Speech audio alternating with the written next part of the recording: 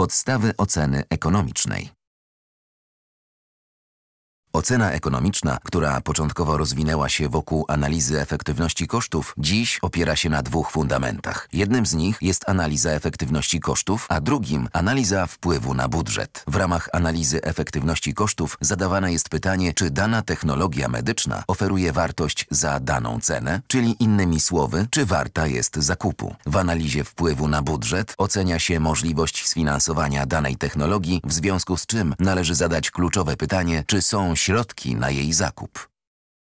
Efektywność kosztów to pojęcie względne, rozumiane jako relacja między dwoma technologiami medycznymi. Na schemacie przedstawione są różne technologie medyczne. Technologia A jest dostępna na rynku i można ją uznać za odpowiedni punkt odniesienia dla nowo wprowadzanych technologii oznaczonych literami B, C, D i E. Spośród tych technologii efektywne kosztowo są technologie B i C. W przypadku obu z nich wydajność jest lepsza niż w przypadku technologii A. Technologia B oferuje większe korzyści po niższym koszcie. Nazywamy to dominującą efektywnością kosztów. Chociaż technologia C jest droższa niż technologia A, oferuje ona większe korzyści, czyli innymi słowy wzrost korzyści przewyższa wzrost kosztów.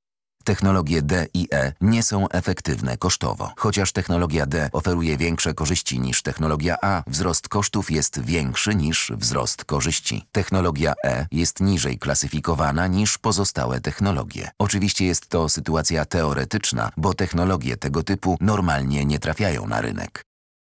Istnieją cztery główne rodzaje analizy efektywności kosztów. Służą one wszystkie do oceny poziomu kosztów z zastosowaniem jednostek monetarnych, to jest pieniędzy. Natomiast różnią się pod względem metody oceny wyników. W analizie ekonomicznej nie monetyzuje się zazwyczaj korzyści zdrowotnych, co oznacza, że analiza wydajności kosztów CBA nie jest używana do oceny technologii medycznych. Zamiast tego stosuje się analizę efektywności kosztów CEA lub analizę użyteczności kosztów CUA. Jeżeli chodzi o tę pierwszą, jej nazwa jest nieco myląca, ponieważ oznacza zarówno ogólną koncepcję, jak i konkretny rodzaj analizy. W przypadku analizy zwanej CEA korzyści zdrowotne mierzone są w jednostkach naturalnych, np. ciśnienia krwi, poziomu cukru we krwi czy innym markerze właściwym dla danego schorzenia. W analizie użyteczności kosztów korzyści zdrowotne zdrowotne zamieniane są na specjalną miarę, zwaną liczbą lat życia, skorygowaną o jakość, znaną powszechnie jako quali. Wskaźnik quali pokazuje korzyść zdrowotną zamienioną na zyskane lata życia, które korygowane są o jakość życia pacjenta w zyskanych latach. Pełne zdrowie to 100% jakości, śmierć to 0%, a pozostałe stany zdrowia znajdują się pomiędzy.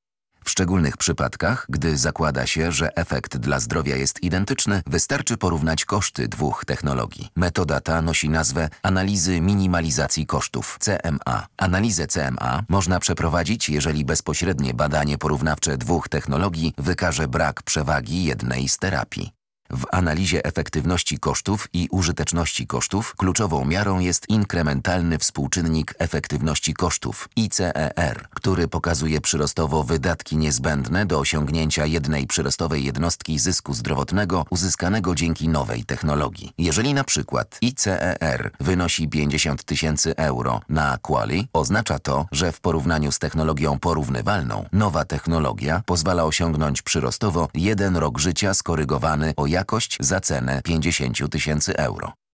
Koszty i efekty zdrowotne związane z technologiami medycznymi mogą znacznie różnić się od siebie, przez co pomiar może okazać się trudny. W zakresie kosztów perspektywa analizy w dużym stopniu determinuje, które koszty można wziąć pod uwagę. Koszty bezpośrednie zazwyczaj uwzględniane są zarówno w perspektywie płatnika, jak i społecznej. Bezpośrednie koszty medyczne dotyczą leków, wyrobów medycznych, diagnostyki, opieki ambulatoryjnej i szpitalnej, a także innych interwencji medycznych. Do bezpośrednich kosztów niemedycznych należą transport pacjenta, koszty związane ze specjalnymi dietami lub inne niemedyczne interwencje dotyczące pacjenta.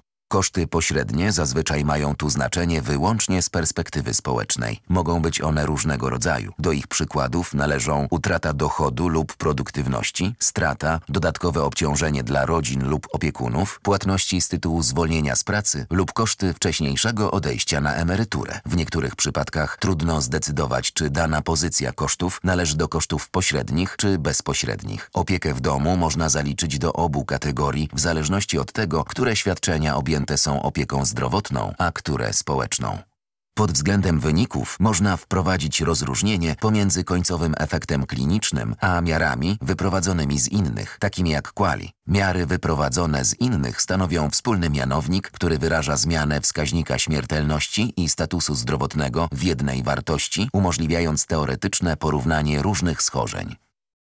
Było to krótkie i uproszczone podsumowanie oceny ekonomicznej. Dodatkowe informacje zawarte są w materiałach uzupełniających oraz glosariuszu, w którym podano łatwe do przyswojenia definicje niektórych istotnych terminów specjalistycznych występujących w ekonomice zdrowia.